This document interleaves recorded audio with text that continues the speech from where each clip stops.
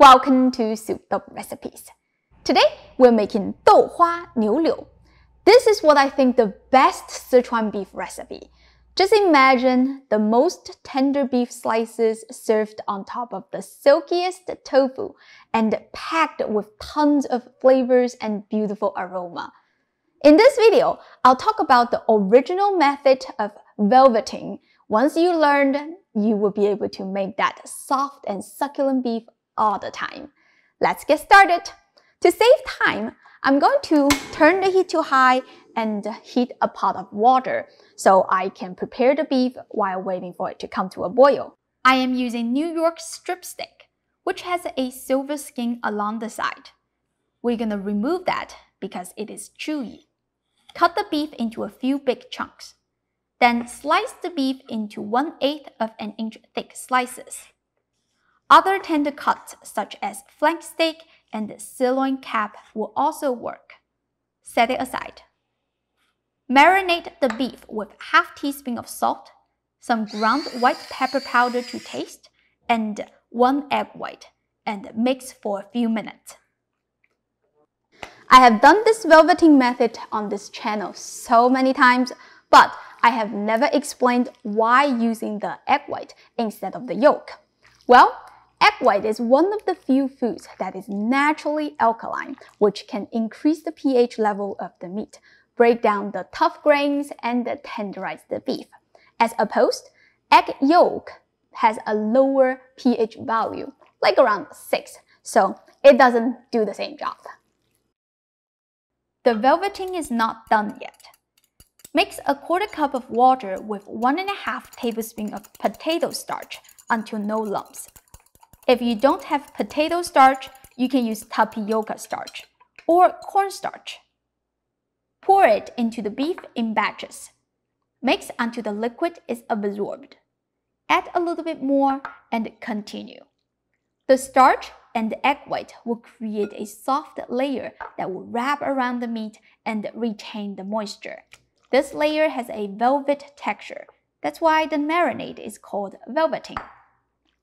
Once all the starch water is absorbed, I like to add a little bit of dark soy sauce to give the beef a desired brown color.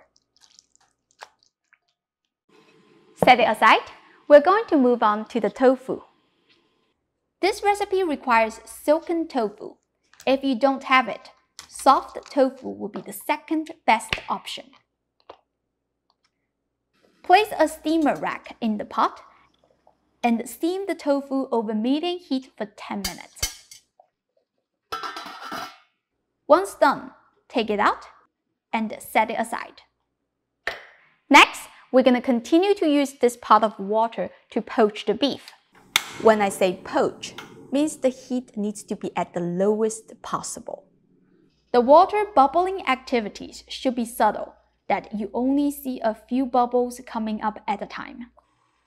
Add the beef slices one by one. Wait for a couple of minutes or until the meat floats to the top of the water. That's a sign that tells you you did a good job of velveting the meat. If you didn't mix the meat with the marinade long enough, it won't float. Let's fish the meat out and set it aside. By now, some of you are probably wondering how is beef cooked in plain water gonna taste good? Just hold that thought. This recipe is one of the representatives of Sichuan mala flavor, which means spicy and numbing. I have got here 8 to 10 pieces of dried red chilies, which I seeded and cut them into half inch long pieces. You can reduce the chili amount if you don't have a high spice tolerance. Here is one tablespoon of Sichuan peppercorns. It's not spicy at all, but it gives you a tingling and numbing effect. I'll link it in the description. You can check it out later. Toss them into the wok and toast over low heat for a couple of minutes. Do not burn them, otherwise they will bring a bitter taste. Grind them finely with a blender. I should mention that I'm using 1 tablespoon of Sichuan peppercorns today if you have never cooked with this ingredient before, please use a small amount at first, such as 1 teaspoon, and see how you like it. Sichuan peppercorns can be overpowering and ruin the dish. Set the spice powder aside and bring the tofu over. Instead of cutting it with a knife into cubes, we will get a spoon and scoop the tofu into the serving plate. The purpose is to create more surface area, which allows the seasonings to infuse deeper. A small trick to make your tofu taste so much better. To the same wok, add some oil along with 2 teaspoons of minced ginger, 2 tablespoons of minced garlic, 3 tablespoons of diced scallions, and 2.5 tablespoons of Sichuan douban. Stir over medium-low heat for a few minutes or until everything becomes bright red. That is how you know you have activated the flavor of the douban. Continue by adding half teaspoon of 5 spice powder, 2 teaspoons of sugar, 2 thirds of the Sichuan peppercorn and the chili powder. We will reserve a third to sprinkle at the end. Keep stirring for a minute or two. Quickly mix 1 cup of water with half tablespoon of cornstarch. You can use beef stock if you have some. Pour it into the wok.